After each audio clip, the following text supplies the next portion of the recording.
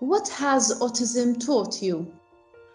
Autism has taught me to not look look at it as a disability, but as an ability.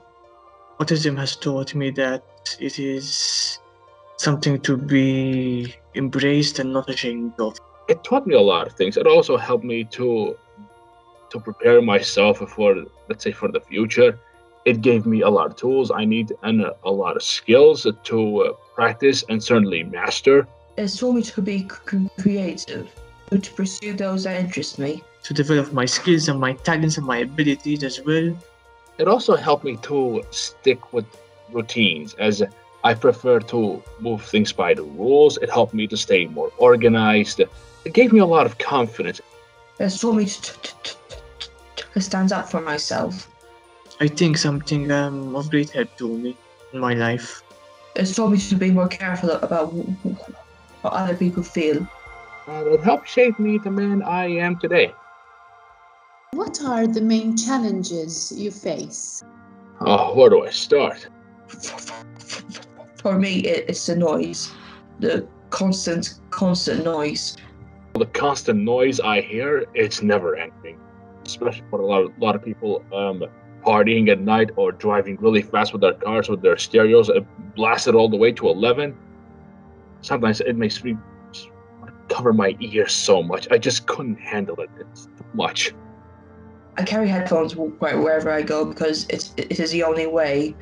I mean, it's it's a socially acceptable way for me to, to keep calm in public.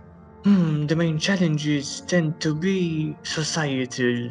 I talk to myself often as it helps me organize my thoughts. When I'm in, in public, it is so difficult to, to, not to not talk to yourself because people will see me as weird.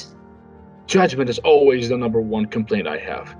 I I couldn't stop being bullied by so many people and being judged by- how different I was or by the way I work my way around.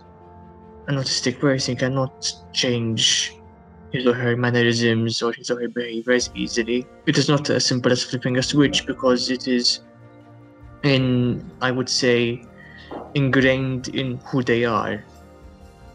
What would you like the public to know? I would like the public to know about autism is that it is a lot more common than one would think. Don't give up on us. We have so much to offer. There may not be that much which can be seen, but there is a lot which can be heard. They have unique talents and abilities that neurotypical people usually don't have. Autistic people have, have a different way of, of uh, processing the world.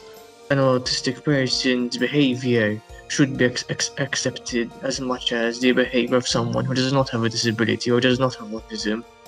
Be patient. and more accepting. We have a lot to give. a little time to show.